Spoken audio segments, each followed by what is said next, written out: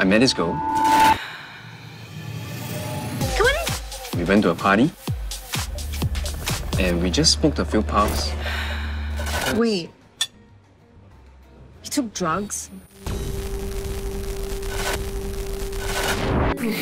Um, hi, my name is Shawn, and I play the role of Nick in High SG. Yeah, who's the protagonist in the film. When the producer called me, she did tell me that hey, this is gonna be a very interesting project. It's gonna be uh, interactive. You get to choose your endings, um, but it's gonna be tough lah. So will you be interested or not? That's what she told me.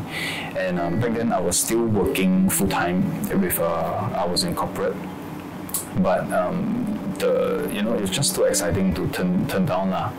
Yeah, so I went for the audition and everything, and, and yeah, thank God we got it. Um, we don't want to stand on a moral high ground and say that no, do not take drugs. Drugs is bad. Drugs drugs is horrible. It's bad for you. You hear all this when you're growing up, right? No drugs, no drugs, right? No drugs, no drugs, right? But the thing is, with this whole interactive film, we give the the the person watching right, an experience that you can actually choose. You make your decision and you see the possible consequences. I think that's better instead of just telling you no, no, no. I for one, right, I'm the kind that if you tell me no, right, no, the more I want to try it. Yeah. So, but if you show me, oh, okay, if you go here, this will probably happen and that's not good, then I would maybe think twice. With this whole interactive uh, interface, with this whole experience that we can bring to the younger generation, I think that is th- th- that would be more.